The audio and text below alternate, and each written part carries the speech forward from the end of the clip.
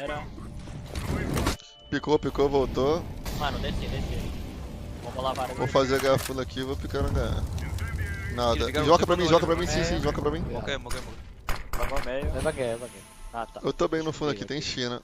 Shibangou meio, vou avançar no fundo, tá? Tô avançando Por no fundo favor. Olha pra você. Mais um esquina. Tomou tiro. Ah não, sei que não. Ó, da hora. Toma esquina. Pode passar varão, galera. Sim. Uma simples jogada que se tornou um grande pesadelo.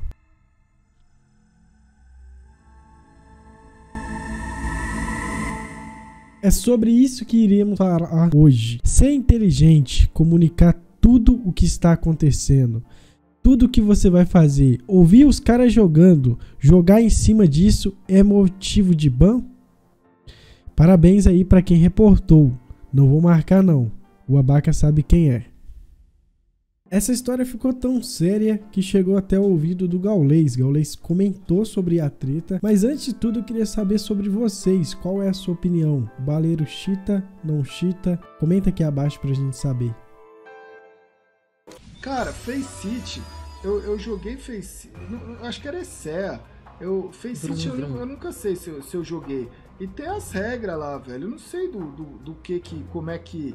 Como é que é o código de conduta, de bom comportamento, o que pode fazer e o que não pode fazer, tá ligado? Agora, o que eu, o que eu acho do- rolê assim de comportamento, eu acho que den- dentro de jogo, velho, dentro de jogo, é, se o cara quiser ruxar, se o cara quiser fazer qualquer coisa, se o cara, velho, se, se, se, se o jogador é, é relativamente bom e tem um, um bom nível aí, né, de estatística e tudo mais, velho, eu acho que, velho, qualquer coisa que. É choro, velho, é choro. Então eu não sei. A, a não ser que a pessoa ofendeu alguém, fez alguma barbaridade, cometeu alguma coisa aí muito complicada e tal, velho. Pô, é, é, tirar alguém pela, pelo rolê, você sabe que tem um nível, né? Por exemplo, o baleiro.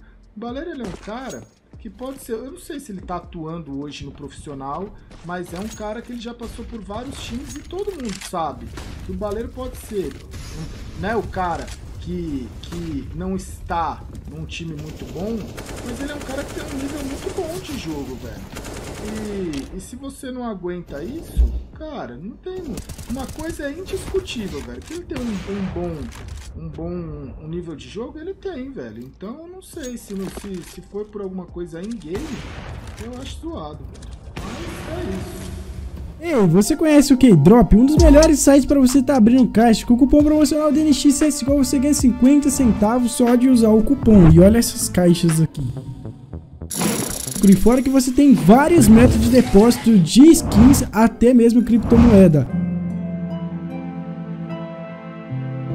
É, rapaziada, o negócio ficou bem escroto, né? Podemos se dizer, porque esse ban foi uma coisa que ninguém esperava. Porque o baleiro, pra quem conhece o baleiro, pra quem já viu o cara jogar, o cara joga muitos anos, muito tempo, já passou por vários times. Como mesmo o Fallen da vida, um jogador profissional aí que você conheça, entendeu? Então, tipo assim, o cara não, não cheata normalmente. Ele é um cara que é bom, ele joga bem, certo? Então, esse ban basicamente foi um ban temporário, tá? Pra começar que foi um ban temporário. Pode ser um ban injustificável, ban complicado, né, galera? Por uma reportação que não teve quase nenhum sentido. O cara simplesmente rushou fundo, encontrou uma brecha e matou geral Costa. Eu particularmente não classificaria isso como hack. Comentei o que, como que você classificaria isso, mas eu não classificaria como hack. Comenta a sua opinião aí. É nóis. Espero que vocês tenham gostado. O canal da NXCSGO tá quase batendo a meta de 30 mil inscritos. Se você puder ajudar, se inscreve, deixa o like. Valeu, falou e fui!